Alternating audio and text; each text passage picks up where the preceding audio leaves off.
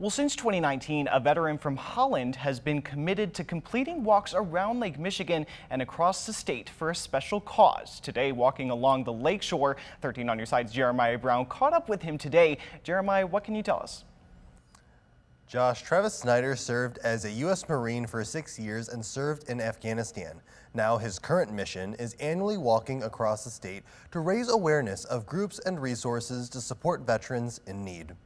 Snyder began this year's journey on August 12th at the Michigan-Indiana border and will finish by walking across the Mackinac Bridge on September 4th.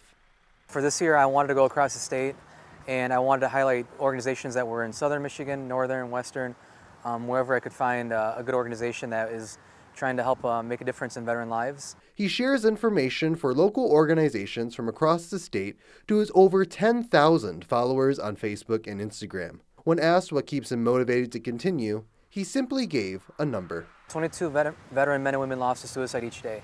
And that number fluctuates. It's been as low as 17, as high as 25 during COVID. Um, but knowing that we're losing that many brothers and sisters to suicide each day uh, definitely keeps me going. And as long as I can keep walking and advocating one way or another, I intend to do so.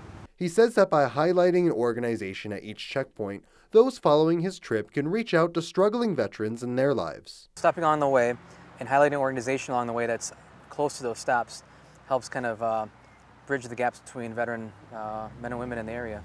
And Snyder is not alone, as people like Kevin Megan join him for different parts of his trek. To know that somebody is willing to put themselves out there with no benefit to them, just to bring an awareness to other people who are struggling and to be a resource to point other people in the right direction uh, tells me that he was a, a gentleman I would like to meet, and I'm really proud to say that I consider him among my friends now. If you're somebody that's struggling in the day, I, I just want to encourage you and remind you that you have a purpose and a reason to be here. Um, your life is not an accident. Those looking to follow Snyder's journey, along with finding ways to support these organizations, can find that information on our website, 13onyourside.com. From the studio, I'm Jeremiah Brown, 13 on your side.